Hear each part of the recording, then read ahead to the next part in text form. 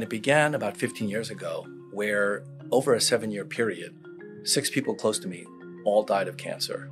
I realized that finance actually plays a pretty big role in cancer drug development. I started thinking about applying all of the tools of financial analysis to thinking about how to change the drug development process to reduce the risks, increase the expected reward, and therefore bring more money into the space to get more drugs developed.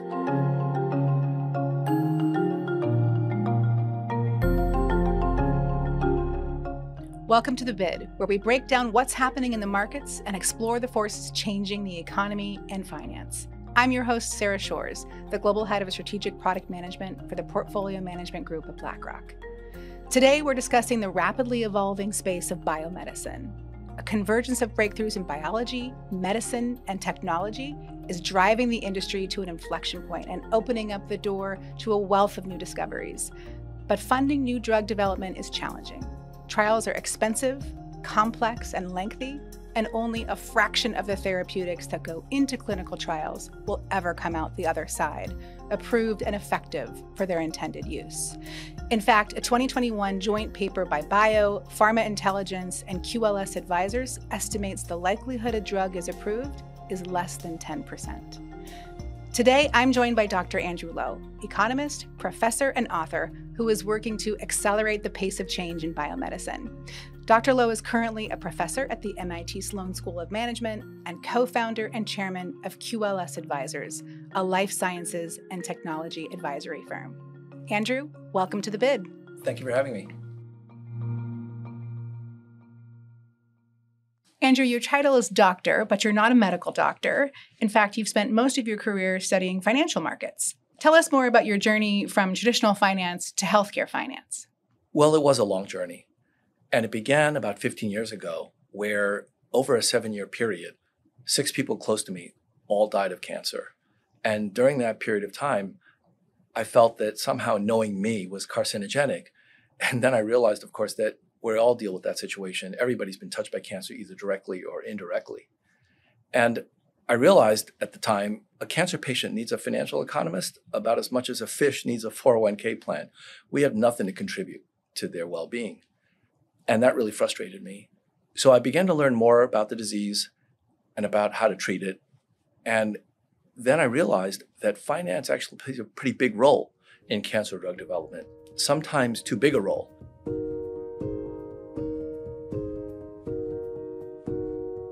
In some cases driving the scientific agendas rather than vice versa.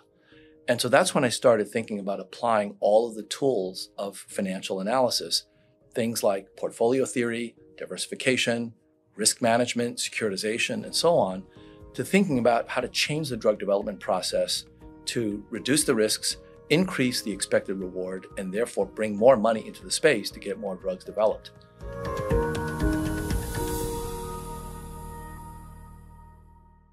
Part of that process involved applying quantitative tools, things like machine learning and other financial analysis. And uh, over the course of the last few years, a number of my former students and I realized that these tools actually had quite a lot of commercial relevance. So we created a company called QLS Advisors, Quantitative Life Sciences, because we wanted to take our tools for quantitative finance and apply them to biomedical contexts. And through that process, began to help biotech and pharma companies manage their pipeline assets more effectively, thereby lowering the cost of capital, increasing the throughput of all of these various different pipelines, and ultimately getting more therapies to patients faster and ultimately cheaper. It sounds like your work is bringing the concepts of financial economics to solving both the diversification and risk management aspects of the challenge, also in helping to identify where you might have the most successful potential trials. So you're really trying to solve both sides of the equation. That's right. And given that I'm from MIT, I've got to talk about that equation. So let me back up and talk about what I call the fundamental theorem of healthcare finance. And it's an equation. And the equation looks something like this. I wish I had a whiteboard here.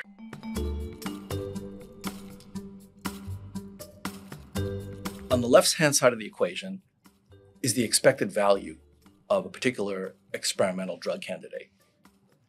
On the right hand side are just three terms. One is the present value of all cash flows of drug sales if that drug is approved, multiplied by the probability of success, minus the cost of developing that drug. So, pretty simple equation as far as these things go. Financial economists can tell you a lot about the present value of future cash flows. Financial economists can tell you a lot about the costs. But the one thing that financial economists have nothing to say about is the probability of success. And so, really, the key parameter in valuing healthcare assets is really that probability. What is the likelihood that a clinical trial will succeed or fail? And historically, it's been estimated using just past successes and failures, or it's been estimated by asking experts in the field, so called key opinion leaders, we call them KOLs for short, and asking their opinion about the likelihood that a trial will succeed or fail.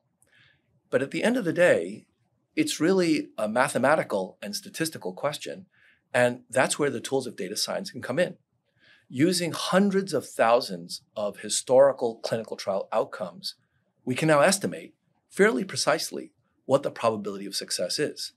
And using the tools of modern data science, that gives us an edge that's very hard to come by, even with the very best KOLs, because it's just difficult to translate qualitative senses of whether the science is good or bad into quantitative estimates of outcomes. Andrew, all that sounds fascinating and also quite complicated. What's the benefit of taking a data driven approach to thinking about medical innovation? Well, you're right, it is more complicated.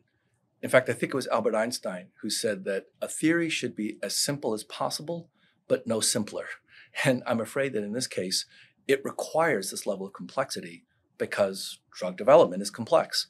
And so the main benefit of using these tools is we get more accurate estimates of these probabilities of success, which means that we're going to make better financial decisions as investors in which trials to fund, in which trials not to fund. And as a result, more money will come into the space because investors now understand what the risks are. But one of the key benefits is the fact that with a quantitative approach, as with other kinds of technologies, we can now scale much more quickly and broadly than before. So rather than relying on a few key opinion leaders for these forecasts, we can now do this on an automated basis, on a nightly basis, across hundreds of thousands of clinical trials, across thousands of drug companies, and we can analyze this data at speeds that are impossible for humans to do. So, like much of technology, what it does is it gives us the ability to automate and scale in ways that we could not before. I understand why looking at a lot of different trials would be helpful. Why is speed important? I would think that the pace of change was relatively slow. What's changing on a day to day basis? Well, that's a great point. It turns out that everything is changing on a daily basis in biomedicine.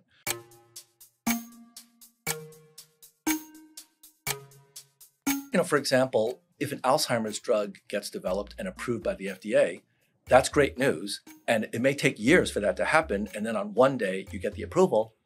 Literally, the very next day, what you will see is implications for all other drugs that have been developed in the Alzheimer's space.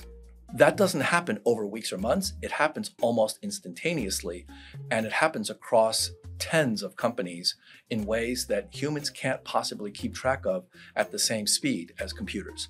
So, taking into account all of these various different features and being able to implement them on a regular basis across the various different companies and trials and events is something that machines were perfectly designed to do.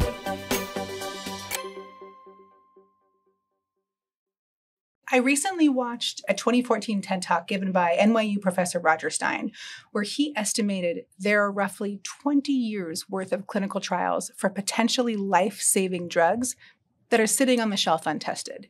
That's a heck of a bottleneck. Is that still reflective of what you see today? And if so, why is it so hard to get things funded and approved? I think it's actually even worse today. There are so many ideas that scientists and clinicians have but not nearly enough money to be able to take those ideas into practice. And part of the reason, in fact, the vast majority of the reasons that these drugs don't get developed is risk. And that's something that financial economists know something about. So, what role can finance and investors play in helping to solve that funding problem?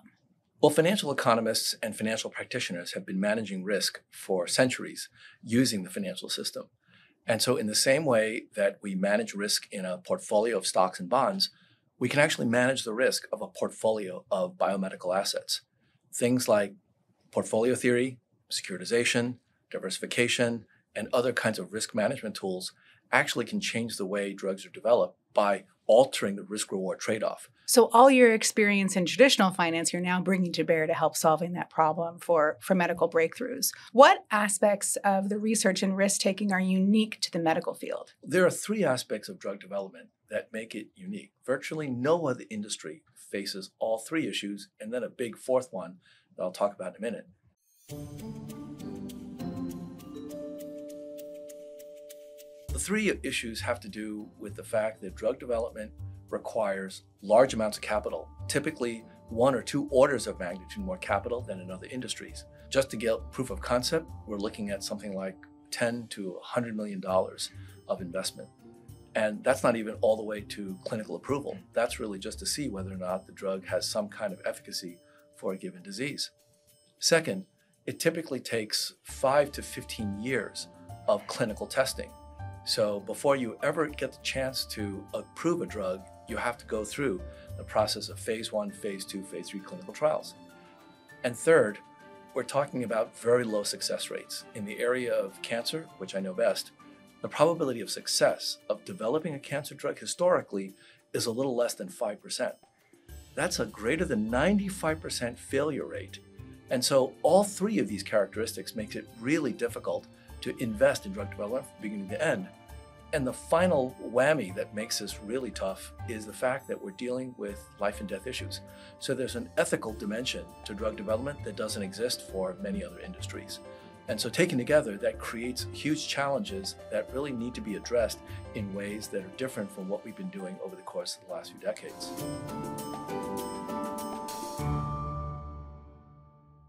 So it seems a miracle that anyone ever invests in drug development based upon some of those challenges. How can we try to mitigate those risks?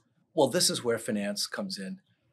If you take a look at the kinds of risks that drug developers are facing, you can really translate almost all of those risks, with the possible exception of the ethical dimension, you can translate almost all of those risks into financial risk taking.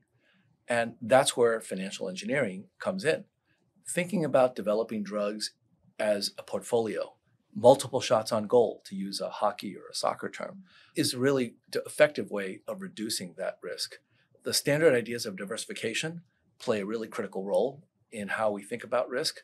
And then, of course, all of the tools of the modern financial trade, things like hedging strategies, using derivative securities, thinking about uh, portfolio construction tools, all of those tools can actually be applied to drug development but with the understanding that we're talking about relatively binary risks. Mm. So we can't apply the tools as is. We have to alter them. We have to extend them to the case where you're really looking at zero one outcomes. Either a drug succeeds or it fails.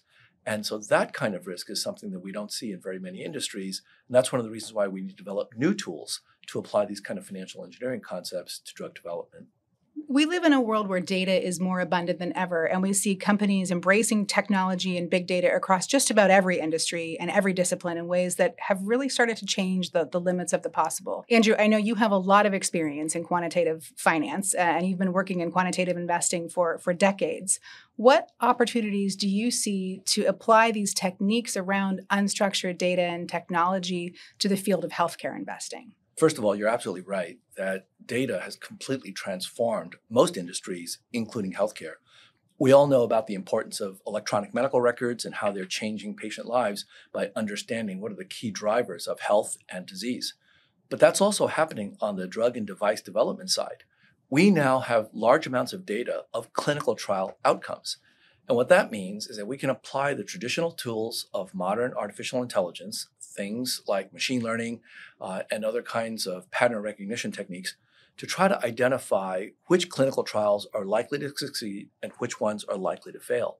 So, using these kind of machine learning forecasts, we can come up with better odds for drug developers and increase the likelihood that a portfolio of investment projects in drug development can actually give better returns to investors. In very much the same way that we apply these tools to quantitative portfolio management, we can actually apply them to quantitative healthcare portfolio management.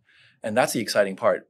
There are not very many people working on it just yet, But I suspect that over the course of the next 10 or 20 years, you're going to see many, many more breakthroughs in this area. And what that will mean ultimately is more drugs to patients faster uh, and better. That's fascinating. So, can you give us an example of some of the features that you might look at to try to identify what trials are more likely to be successful? Sure, there are a number of them, some of which are pretty intuitive, but some of which are subtle. So, for example, an intuitive feature that we use is track records. If a drug developer has succeeded in getting a FDA approval for a prior drug, it turns out that that actually dramatically increases the chances of success for that particular trial. Second, if the drug has gotten an approval for a different disease, that also makes it much more likely that it will get approved for this new one. But an example of a feature that's a bit more subtle is if the particular clinical trial happens to recruit patients faster than normal, it turns out that that's actually a pretty good sign for approval. Now, you might ask, why is that the case? Why should it be that if a clinical trial recruits patients much more quickly, that it's more likely to succeed? Well, so we talked to a number of clinicians about this, and they said that they've actually observed this anecdotally in the past. And the way it works is that if an experimental treatment is really effective, well, the patients usually see an effect right away. And that means that their doctors realize that this is working right away. And what do the doctors do? They call all their friends. And so the other doctors that have patients with similar diseases, they will try to get their patients into that trial. So basically, purely from word of mouth, you will see very effective clinical trials recruit patients exponentially faster than other trials. And that's something that we can detect with these machine learning tools fascinating the way that you're bringing in both the unique aspects of drug development alongside the more traditional investing concepts and, and really marrying the two. You must see uh, a lot of different projects and concepts in your work. Are, are there any recent medical breakthroughs that you're particularly excited about? Wow, you know, I think there are many different breakthroughs that have been going on. And that's one of the reasons why I've been spending more and more of my research time in healthcare finance because we see so many breakthroughs happening right now not enough funding to be able to take advantage of them. And this is really an inflection point in the whole biomedical ecosystem. So, just to name three examples.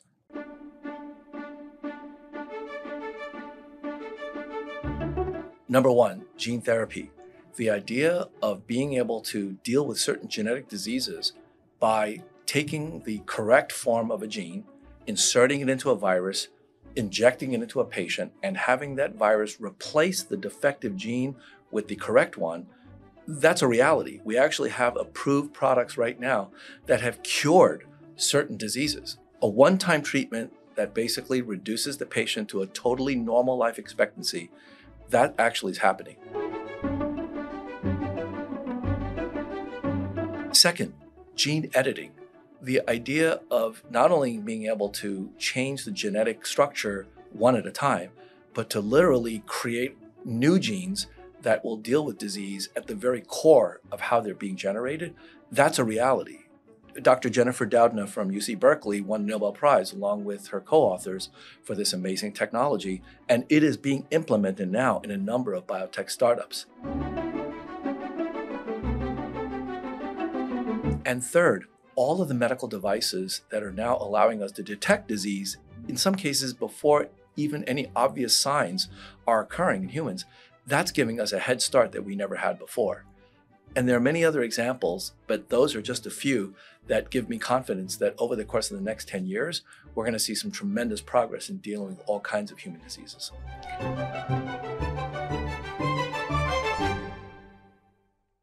So inspiring to hear how much potential there is and even a greater need then for us to, to solve the funding problem to be able to help some of those developments. You've described a really different model for funding therapeutic development that could open up a meaningful new source of capital for innovation. What areas of research might now get attention that didn't perhaps get that attention before? Well, the real benefit of having additional funding right now is that the riskiest and most significant breakthroughs that have not yet been developed can now be undertaken. Typically, what investors are willing to fund are opportunities where they understand the risk and reward. But sometimes, in order to deal with disease at its very core, you have to swing for the fences, which means you're going to strike out more often than not. And it's really those really risky but extraordinarily transformative therapeutics. For example, not just dealing with cancer at the tumor level, but figuring out how to prevent cancer by developing vaccines against certain kinds of cancers. Those are examples of things that we may want to take on if we had the funding, but where if we don't have enough funding, they're going to be focusing on the lower hanging fruit. And sometimes the lower hanging fruit is not going to provide the same kind of therapeutic benefits as when you go for the really tough diseases and the really experimental but breakthrough therapies. Andrew, wow, this has been such an inspiring discussion. I'm thrilled that we had the chance to share your story and the role that investors can play in helping to bring life changing new therapeutics to patients all over the world. Thank you again for joining us for the bid today. Thank you for having me. Thank you for joining us for this episode of The Bid. Make sure you subscribe to The Bid wherever you get your podcasts.